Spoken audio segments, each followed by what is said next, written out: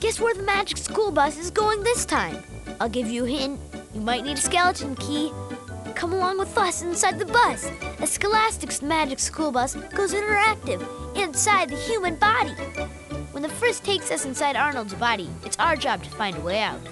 Ooh, I hope Arnold brushed his teeth. Where should we go next? It's up to us. We're driving the bus. We can fly past the uvula.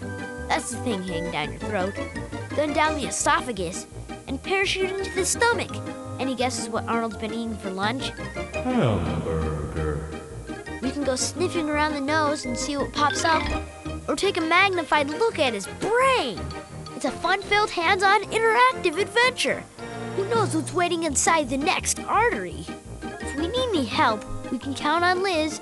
She always gets right to the heart of the problem. It's like getting to know Arnold from the inside out. The most fun ever inside a human body. And the best part is, the adventure is different every time we play. Scholastic's Magic School Bus explores inside the human body. Don't miss any of the fun. Click in and climb aboard the Magic School Bus. Race ya!